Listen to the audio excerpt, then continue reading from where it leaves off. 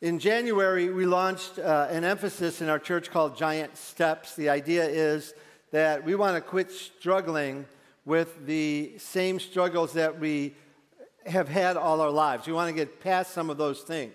We want to quit moving by baby steps and increments and instead start moving by giant steps to conquer some of the problems we've had in our lives, perhaps all life long. I need more house light, Nate.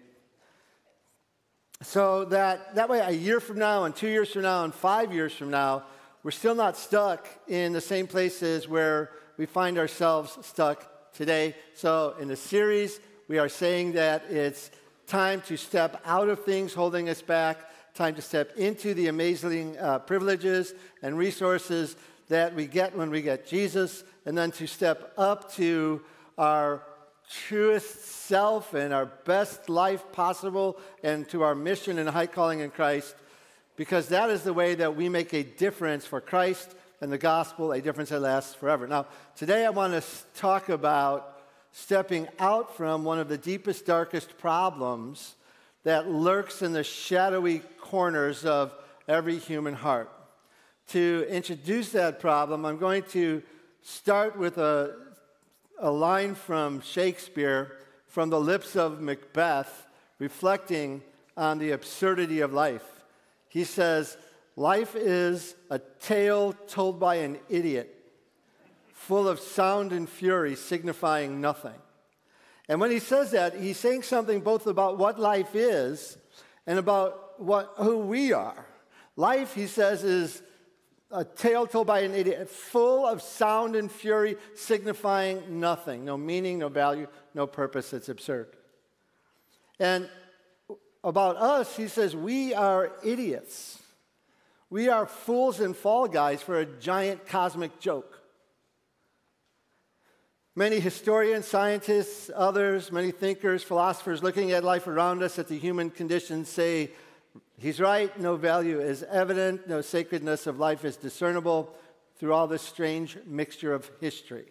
We are idiots, one and all. We have no soul, no spirit, no essential dignity. Molecular machines, lumps of matter energized by electricity. If you had to go buy the dust we're made of, you'd be worth about 50 cents. Now, this view of who we are uh, plays out in our culture. Francis Schaeffer, a thinker, philosopher, theologian, 50 years ago, predicted this. He said, We are watching our culture put into effect the fact that when you tell men long enough that they are machines, it soon begins to show in their actions.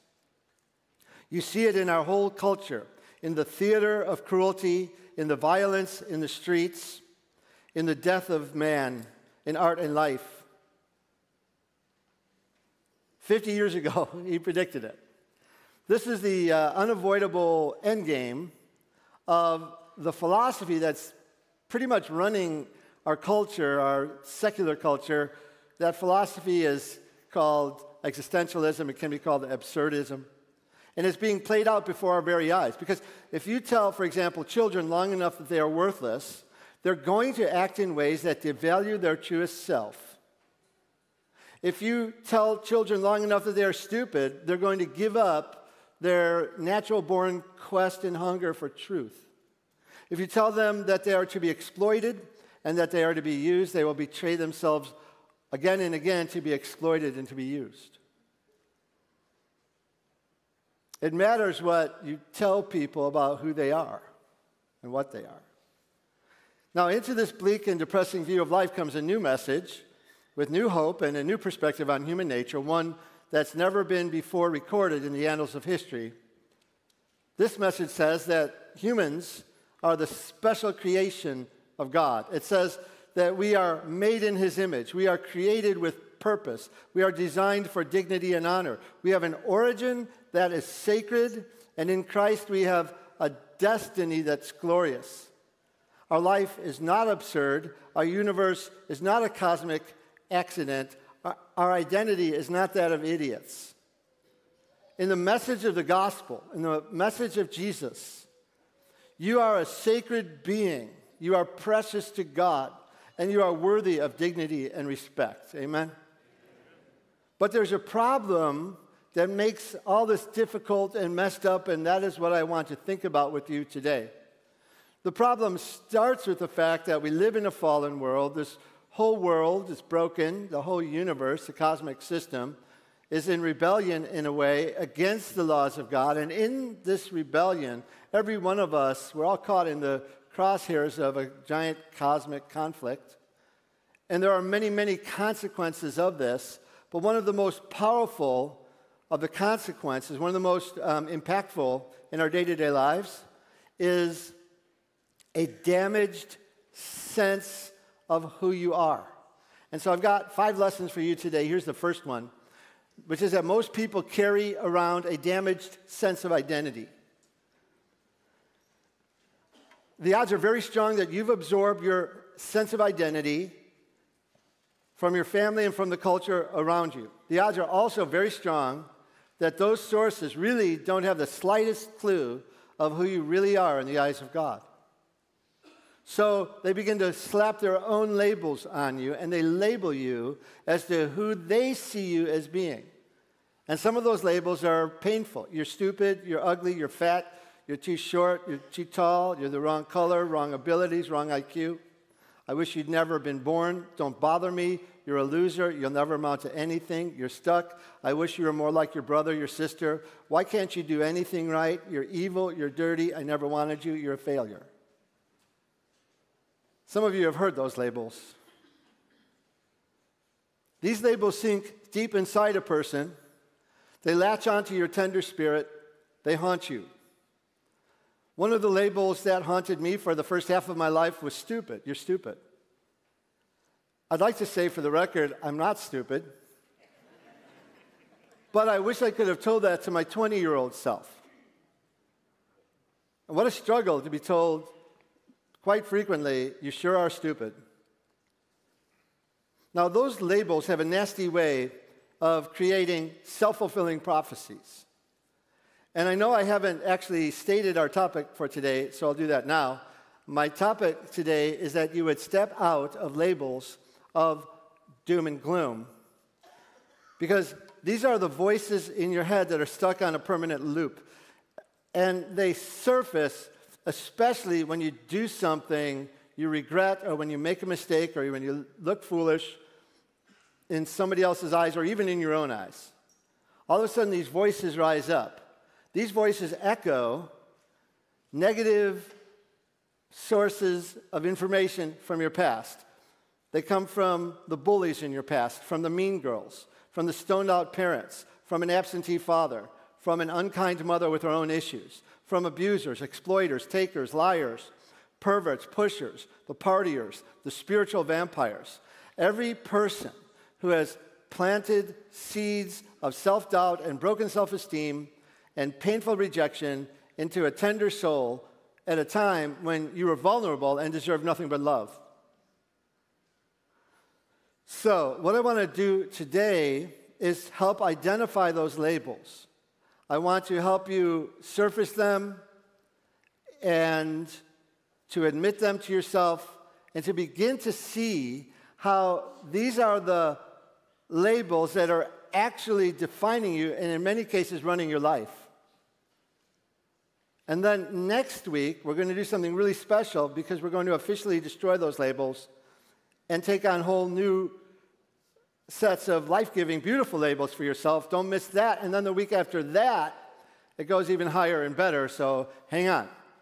Now, I want my message today to be interactive. And on the way in, we asked you to take out to take with you this uh, slip of paper and a pencil. And as I'm teaching today, I've been asking God by His Holy Spirit if he would help you to surface some of the deep labels you've been carrying. And what I'd like to invite you to do is as one of these labels surfaces for you, write them down. So write them on that slip of paper. And this is between you and God. I'm not going to have you turn them in. Don't show it to anybody else. Write them down and just let these labels kind of sit heavy with you this week. And then bring it back next week. So my list would be started with stupid or something like that. And you can write down even things you've already heard me say that feel like they resonate with you. So and even actually after today, all through the week, as you notice new labels coming up that you've kind of soaked in, maybe, and you don't even realize it, write them down too. Because next week we're going to do something special with the labels on this list. So, what I want to do right now is to go really fast through a dozen places of Scripture, and it's a baker's dozen because I added one today. So there's 13. Where uh, people in the Bible were holding onto, uh, they had slapped on them labels of doom and gloom, negative labels. And we're doing this to trigger some of this inside of you and to help you think through where the name calling has sticked, where uh, stick to you, where the labels stick to you, things that raise up emotions for you, things that make your heart skip a beat, write that down. It could be a nickname you've adopted, it could be a name you've adopted for yourself, an identity that isn't the real you. It could be a voice or the whisper that shouts to you, who knows? It could be a way you routinely talk about yourself, you talk to yourself about yourself and say, Boy, that sure was blank. You sure are blank. Write them down. So here we go. We're going to look at a bunch of examples from the Bible of people who held on to labels and see which ones resonate with you. Uh, in John 8, Jesus meets a woman who is caught in the act of adultery. They throw him at her feet. And they said to him, Teacher, this woman was caught in adultery in the very act. Labels adulterer, dirty, evil, caught, busted, exposed, condemned. So if any of those stick with you, write them down. There's a man in the Old Testament named Gideon. And uh, he was hiding from the enemy. And God said, You are favored by God. And Gideon said to him, O Lord my God, O my Lord, if the Lord is with us, why then has all this happened to us? And where are all his miracles, which our fathers told us about, saying, Did not the Lord bring us up from Egypt? But now the Lord has forsaken us and delivered us into the hands of the Midianites. Abandoned by God, that's a label. Forsaken, defeated, unworthy, loser. There's a widow who bumped into a prophet in a town called Zarephath. And so she's called the widow of Zarephath. And the prophet, uh, and this is what prophets did, said, Hey, can you, can you make me a meal? And she said, As the Lord your God lives, I do not have bread, only a handful of flour in a bin and a little oil in a jar. And see, I am gathering a couple of sticks that I may go in and prepare it for myself and my son so that we may eat it and die. Hopeless, good as dead, despair. I give up. Life's not worth living. In the ancient world, one of the worst things that could befall a person as far as a disease went was leprosy. And Jesus encounters a leper. And in Matthew 8 3, it says, Then Jesus put out his hand and touched him. And this is, this is the beginning of his healing. Nobody touched a leper. They, they, they were unclean, they was considered contagious. And that touch from Jesus might have been the first time in a lifetime that anybody touched him with love and affection. And that can be the case for some here today. A disease, you are a disease, you are untouchable, outcast, unwanted, you're a reject, you are different, Some of you were here for a long time when we went through a series on spiritual warfare, Christian in complete armor, and we met different people in the Bible who were afflicted with evil spirits, and here we have a demon possessed man who is living among tombs, and he's naked, and he's matted in his own filth, and he's, he's out of his mind. And when Jesus stepped out on the land, there met him a certain man from the city who had demons for a long time and he wore no clothes, nor did he live in a house, but in the tombs. Here is a man labeled crazy, disgusting, evil, exploited, helpless, beyond hope, too far gone. Just write down the ones that stick or other, you don't have to limit yourself to what I'm putting on the screen here. I'm just trying to be suggestive of some of the labels that might come up for you. Jesus met a sinful woman. That's how she was identified. It doesn't say, oh, here's this woman. No, here's a sinner of a woman. And this is Luke 7 37. And behold, a woman in the city who was a sinner. That's her identity. When she knew that Jesus sat at the table in the Pharisee's house, she brought an alabaster, alabaster flask of fragrant oil and she breaks it and anoints his feet. It's a very expensive stuff. And she's weeping and anointing his feet with this oil. Her labels are sinner, immoral, filthy, defiled, sleazy. I've got others on my paper that I won't say out loud here. She's wasted and she's wasteful.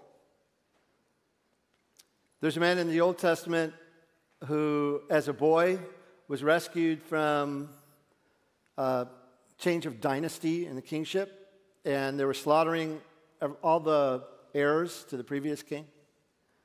His name was Mephibosheth.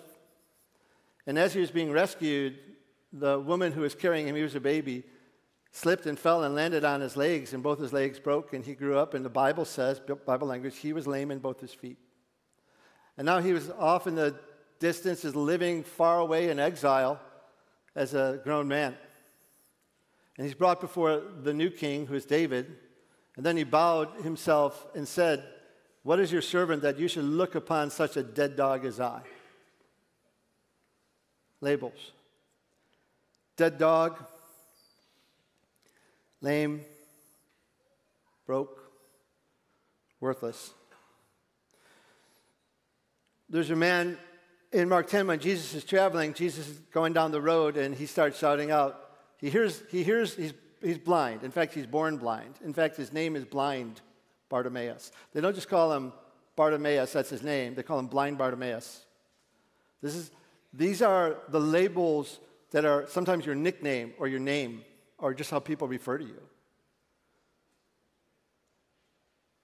And as he's going down the road, as Jesus is going down the road, blind Bartimaeus is sitting there crying out, Lord Jesus, have mercy upon me. Lord Jesus, have mercy upon me. And everybody, including the disciples, tells him, just shut up, man.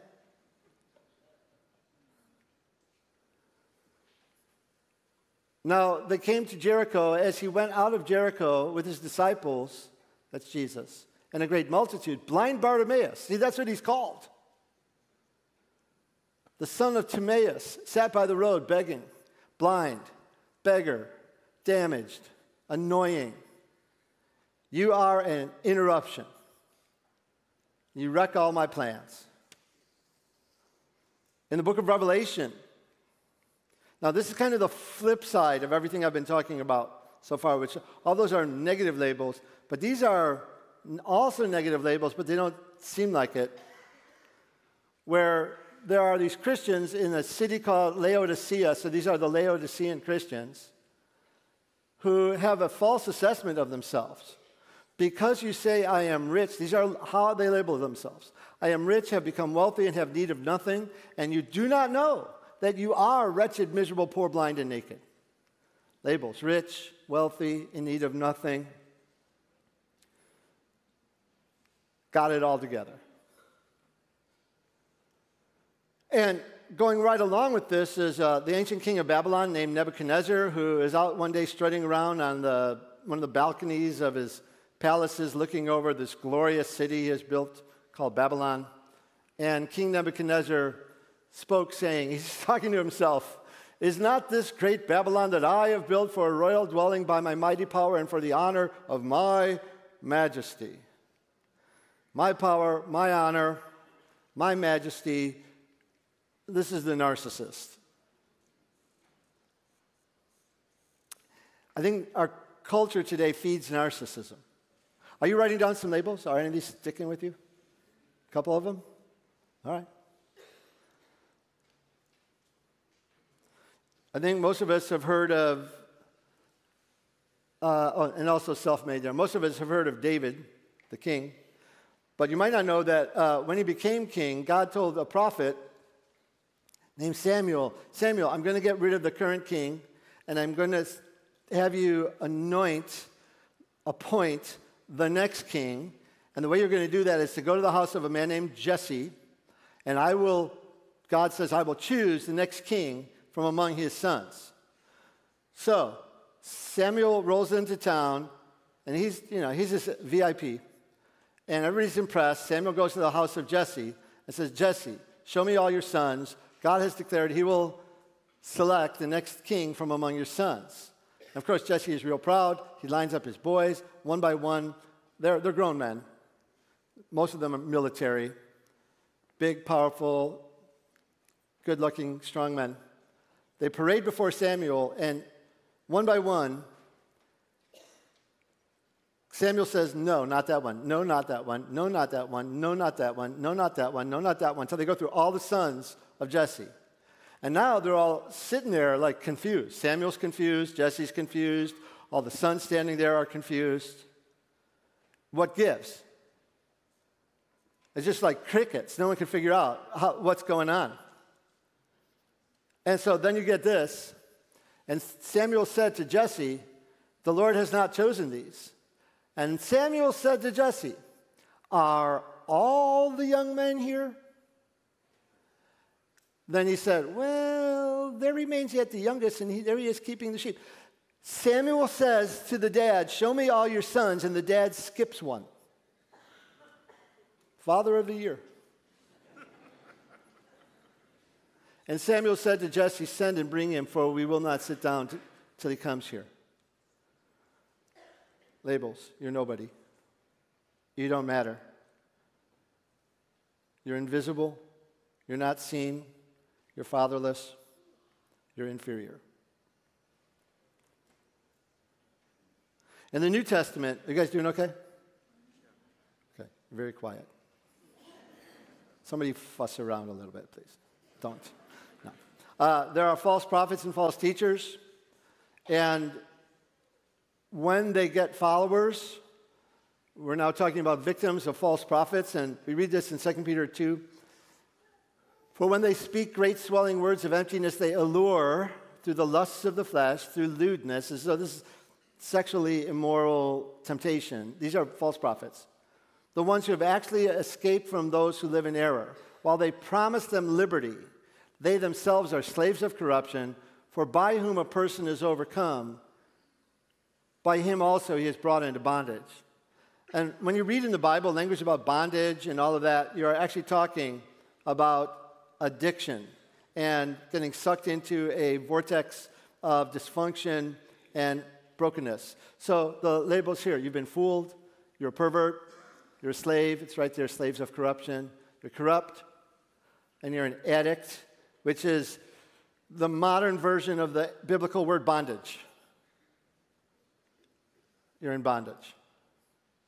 And this last one, one more example here. Don't worry, I'm not done. Um, we have the first man ever created, Adam. And after he sinned with Eve, God comes down, okay, what happened? He knew, but he wants them to say it. And Adam says, Then the man said, The woman whom you gave me to be with me, she gave me of the tree and I ate. And this is one of the most uh, messed up labels you can have, which is to label yourself a victim. And so I want to pick up on this, this label a little bit for kind of the rest of my talk, because I think this is the most subtle danger um, on labeling yourself a victim. Now, so let me pause though to say, are you thinking of some labels that have been stuck on you? Just nod a little bit. Okay. Write them down. We're not done with that, but I want to show you how impactful this is because it's not just that these are labels that you put on yourself. There's a super important lesson for you today, which is that when you accept a negative label and let it in, you also accept the status of a victim. Someone mean, someone powerful, powerful over you, someone uh, with power that you don't have and you couldn't make them shut up, got a label on you and got it to stick, and that wasn't your fault, that was their fault. To be called their name is to be wounded by somebody else. You are their victim. There's a vulnerability, and I get this. This is not your fault. There's pain. You're at the mercy of a power or person you can't stop. Now, let's just agree that all of us are victims of other people's sins. Let us also agree that for all of us, other people have been victims of our sins. Right? So, this is human life. We've hurt people, we've been hurt by people.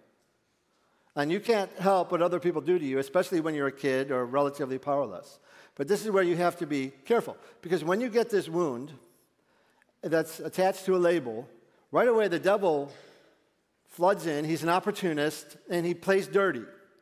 And the devil will tell you you're broken. He'll tell you you're damaged goods. He'll tell you this now defines you. This is who you are. And he'll tell you you have no choice in the matter.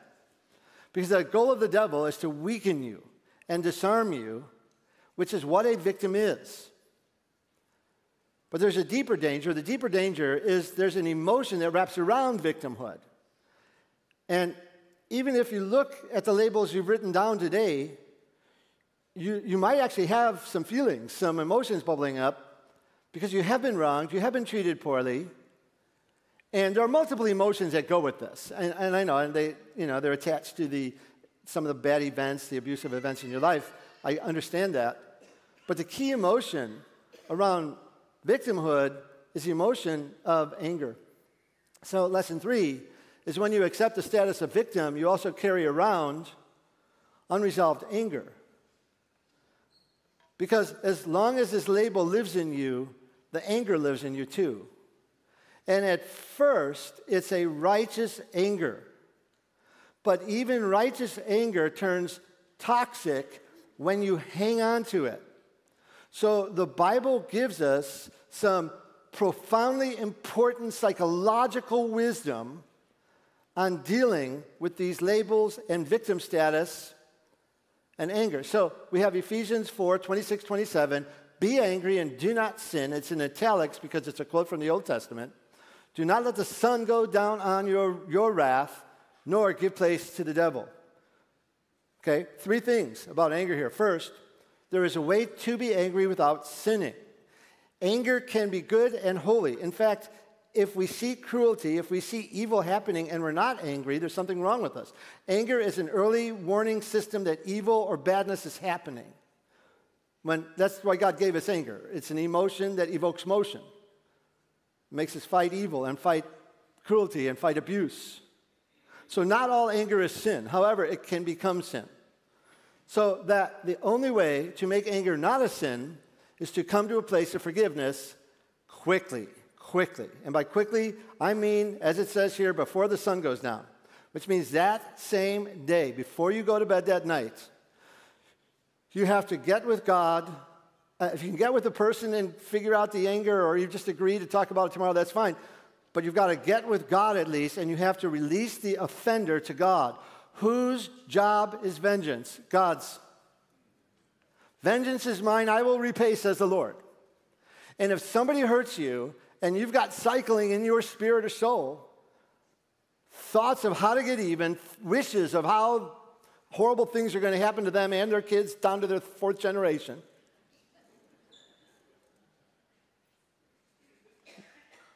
That's hurting you. You have to forgive. And when I say forgive, this does not mean you forget. We're going to talk about this more. Not today, though. This does not mean you forget that this bad thing happened to you. This does not mean that you trust the offender who did it. Forgiveness does not mean that you have to trust that person. Do not put yourself in harm's way with dangerous individuals. You have no obligation to do that. And especially don't put your kids in harm's way. Forgiveness does not mean you forget, it does not mean you trust the uh, offender, it does not even mean you're friends with that person. Now, if somebody hurts you, oh, let, me, let me say it this way friendship with you is a privilege. If someone gets to be friends with you, that's a privilege. You don't owe that to anybody, except for one person, which is the person you said vows to in marriage. Now, that friendship you've got to work, out, work on. But all other friendships are optional. If you want to be friends, it takes two. If, you, if I don't want to be friends with you, we're not going to be friends. and it's nothing about you, and it's really nothing bad about me. It's just, I don't know a friendship to anybody. You don't know a friendship to anybody. So that means you can be loving and not be friends. So when you forgive that person, you can still love them from a distance. If you feel that that's what has to happen in order for you to feel like you can get on with your life, maybe you don't. If you can reconcile, by all means, reconcile. But a lot of people take this Christian idea of forgiveness as if, okay, now I got to be their best friend. No, you don't. Okay, I'm preaching a couple weeks from now. Okay, it, what, what this forgiveness means is that you release the person into the hands of God, leaving whatever justice they need with God, and you let that go and you go on with your life. Because if you don't do that, you get between the Lord and the whip, and to hang on to unresolved anger is to open a door to the power of the dark side in your life. You're giving a place to the devil. God said that. Because some of you were here when we learned that the devil takes a foothold and turns it into a what? Stronghold. And a stronghold is a powerful base of operations embedded in your psychology maybe for 20 years or more. That becomes a demonic base of operations for evil and trauma and pain and relational destruction. And it also brings pain into the lives of the people you love. Which leads to another verse from Hebrews looking carefully lest anyone fall short of the grace of God. And this does not mean that you didn't get saved, it means that you got saved. But, and then when you get saved, all this grace, all these resources and blessings become available to you, but you're not using them. And the result of that is lest any root of bitterness springing up cause trouble, and by this, many become defiled. What is bitterness? Bitterness is unresolved anger, it simmers. Bitterness is unreleased vengeance. I'll show him, I'll show her, I'll slander them, I'll, I'll make sure everybody knows what they did, I'll make sure that everybody hates them. Bitterness is unresisted victimhood. Oh, they got me. They got me. I, am ruined. Push back against that. It's a lie. Bitterness is unchecked labels. And when all of that is running through your soul like a carousel in the deepest part of your heart, you begin to develop a sophisticated excuse for taking revenge. Does anybody know what I'm talking about? If you walk around with a chip on your shoulder, it means there's a root of bitterness in your soul. This is the consequence of labels. All this needs to be pulled out by the roots. And I would say that bitterness is the middle name of American culture today. It is justified, it is rationalized, it is used to rationalize violence. So many in our culture exist in a constant state of grievance. This is sad, this is unhealthy, this frays at the fabric of our communities and friendships. By this, it says, many become defiled.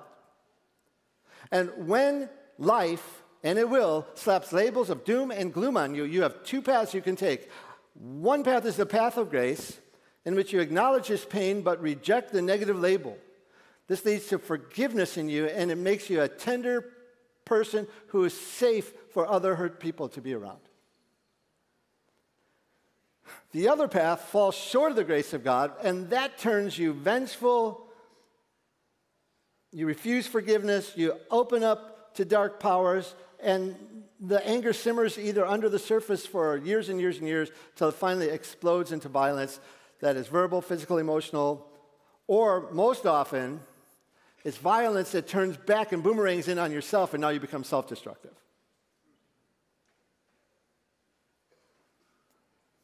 This is the biblical wisdom on the operations of the human soul.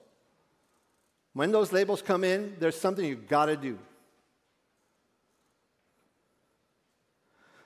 So, this is our lesson for who you think you are powerfully impacts how you choose to live in love. And most Christians don't get this, and most churches don't operate this way. Because as a pastor, I can preach a thousand sermons on how you should behave, but if who you think you are is broken beyond repair, your behaviors, your changed behavior is going to last for about a minute. Because you're always default back to who you think you are the labels. Your identity determines your actions. So if people act out of who they think they are, and if who you think you are has been damaged, then that's where we need to work. If you embrace the labels, uh, these labels create self fulfilling prophecies. If you embrace the label that you're stupid, what kind of person do you think you're going to be? If you embrace the label that you're a loser, what kind of life will you create? If you embrace the label that you're better than everyone else, you're going to be hyper competitive and also fragile when you lose. If you embrace the label, I'm entitled, you're going to be a tyrant. You're going to be a high tier tyrant. You're going to be a permanent victim, and you're going to turn into an abuser, a bully, and a crook.